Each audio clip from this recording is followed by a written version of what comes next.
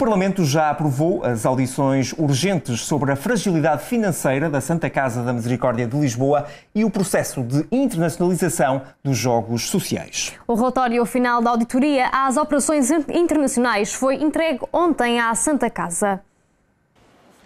O relatório final da auditoria à área internacional da Santa Casa vai agora ser enviado ao Governo, ao Tribunal de Contas e ao Ministério Público, tal como foram os relatórios preliminares.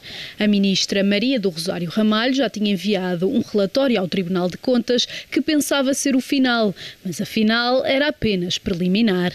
Só esta quarta-feira é que o relatório final da auditoria foi entregue à Santa Casa.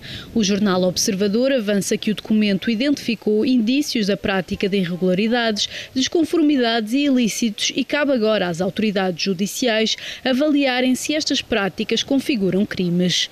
De acordo com o mesmo jornal, os resultados preliminares da auditoria apontavam para a existência de indícios de crime económico e práticas ilícitas nas operações no Brasil e a versão final não acrescenta muito ao relatório preliminar.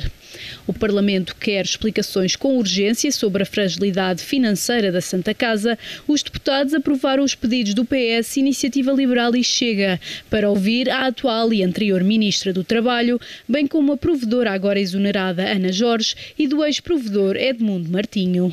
Nos últimos dias foram várias as reações dos partidos sobre a decisão do governo em exonerar Ana Jorge, que se manteve menos de um ano no cargo de provedora.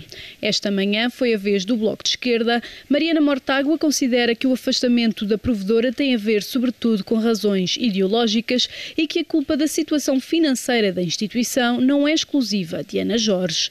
Declarações que tiveram resposta durante o briefing do Conselho de Ministros. Não se conhece plano de reestruturação. Não havia plano de reestruturação.